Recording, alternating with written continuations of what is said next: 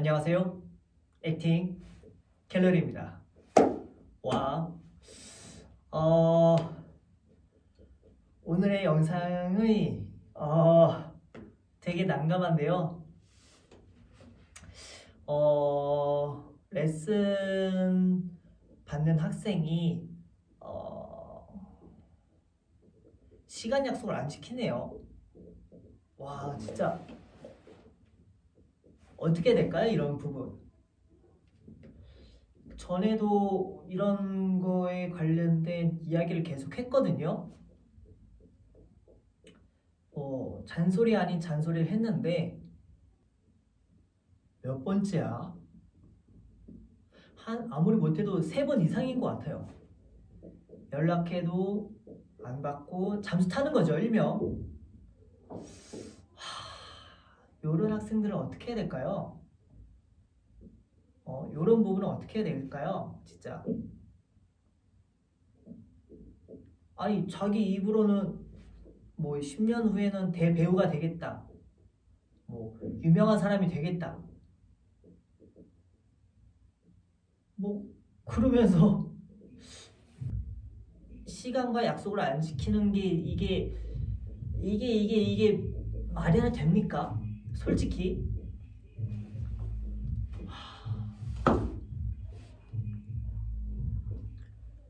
정말 황당하고 당황스럽고 요거를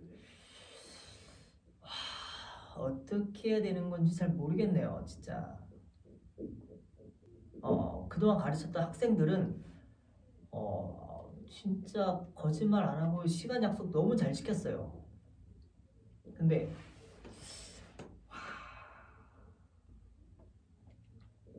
대학교를 붙어서 그런 건지 모르겠는데 아, 아, 뭐 그렇다고 쳐요. 대학교 붙어서 뭐 안 나올 수도 있다고 쳐요. 그렇지만 최소한 뭐 연락이라도 해야 되는 부분은 맞지 않을까요?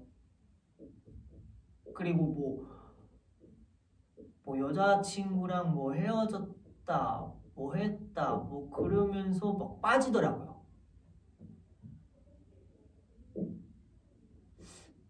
여자친구랑 이런 연습이랑 무슨 관계일까요?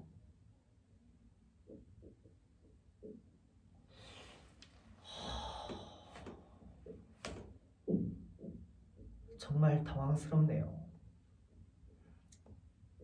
저는 오늘 이 촬영 기준으로 해가지고 어, 영화 하나 촬영하고 온 거예요. 그거 오산에서 끝나고 부랴부랴 와가지고 그 학생을 기다리고 있는데 이렇게 연락도 없고 전화도 없고 옷도 없는 상태면은 진짜 힘 빠집니다. 저는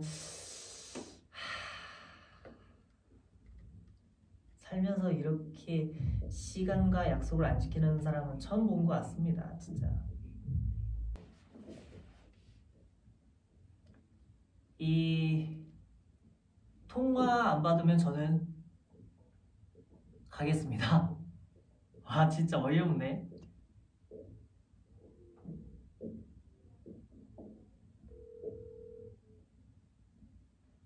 한두 번이 아니에요. 한두 번 진짜 말 그대로.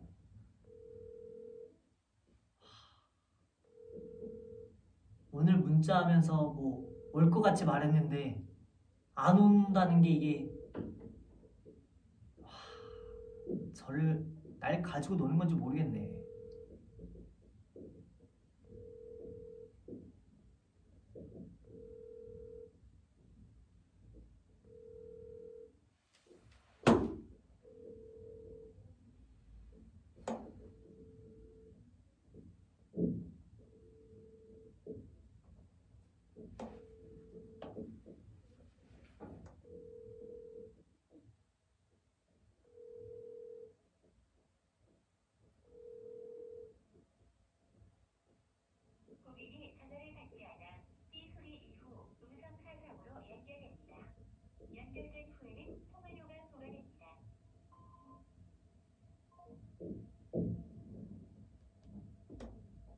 저는 가보겠습니다.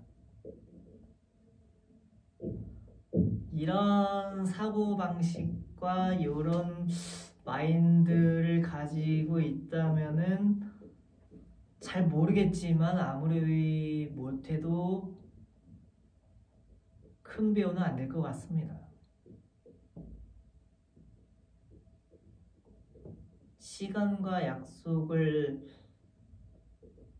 잘 지켜도 될까 말까인데 요렇게 안 지킨다 그러면은 답은 나왔죠. 아무튼 음, 자, 영상 이 정도로 마치고요. 저는 자연스럽게 집을 가보겠습니다. 그러면 어, 오늘도 열심히 연습을 많이 많이 하십시오. 그러면 아자 아자 나처